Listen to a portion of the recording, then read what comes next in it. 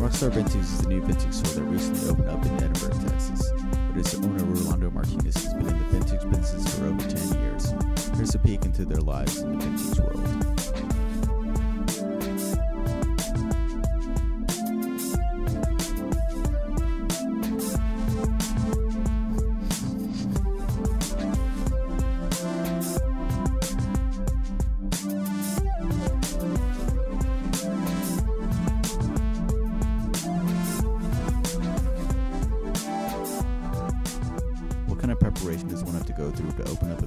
Open up a vintage shop like this?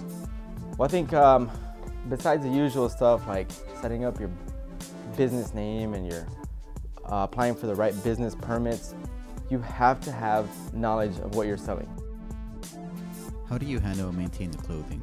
We make sure that we inspect the garment, and uh, once that's settled, we put it through a wash with uh, special chemicals to make sure that it's all sanitized. From there, it goes into the drying process. Once that's done, hits the racks, and it's for sale.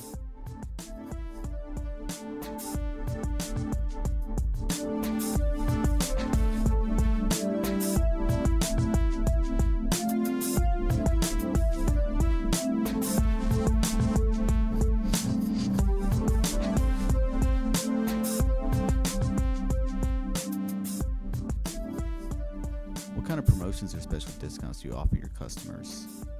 Well, one thing that we always do 365 days of the year is offer our customers here at this location our wholesale price.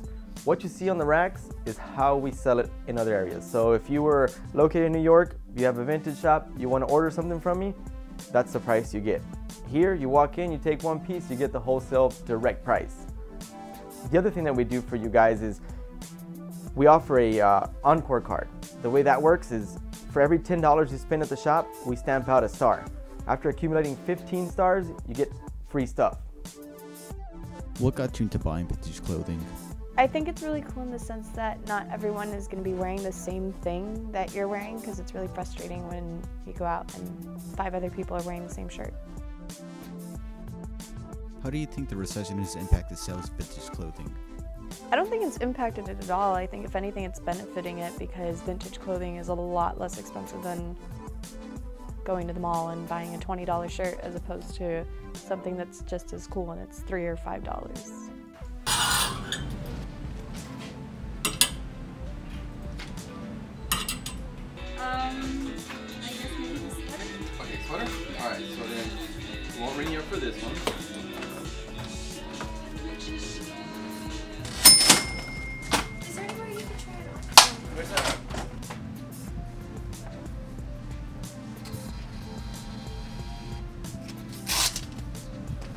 How does wearing vintage clothing make you feel? It makes me feel really unique to be wearing stuff from the past, not to be like blending in with modern society. You recently had a grand opening party at your shop. Can you tell me how it went? Actually, it was very successful. Uh, we had over 300 people in attendance, so you can imagine a, a vintage shop being packed. Every square foot, there was somebody standing in there. We had great show outside. A couple local bands that participated, which I feel are the ones that really brought the people in. But once they got to experience what was on the racks, uh, it's proven to, to really work out for us. People come back.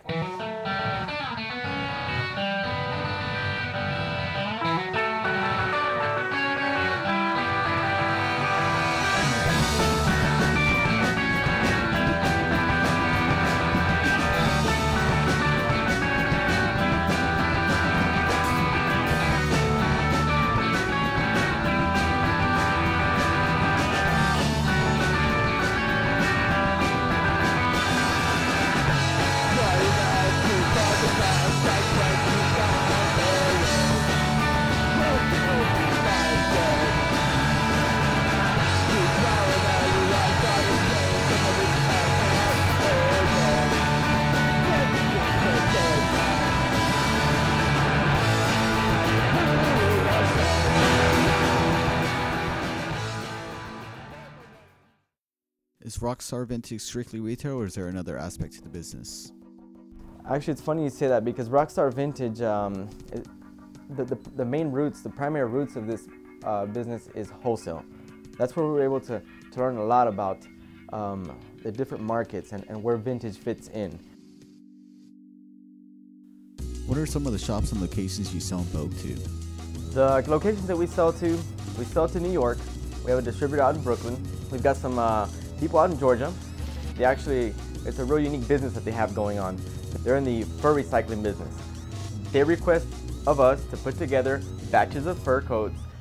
When they receive them, they tear them apart, cut them into sections, and create pillows and throws out of them. We've got uh, a bunch of customers out in Austin. We got maybe about five of them, all up and down Congress, South First.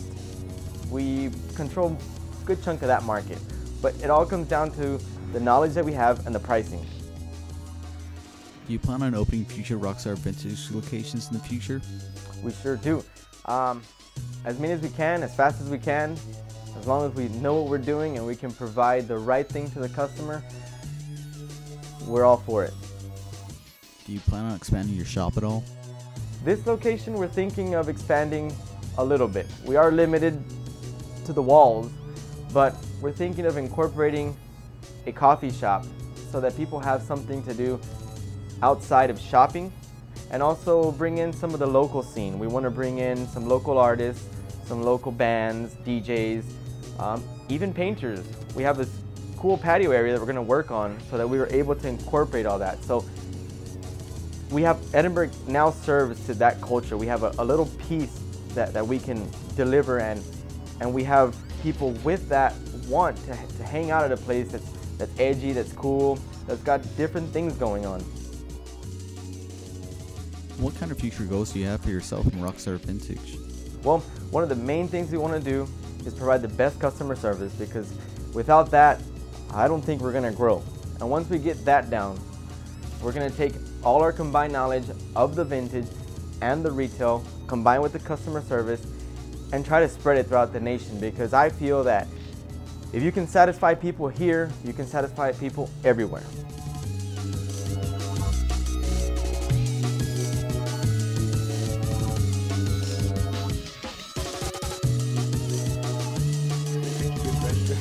I'm not gonna say keep it fresh. say keep it fresh.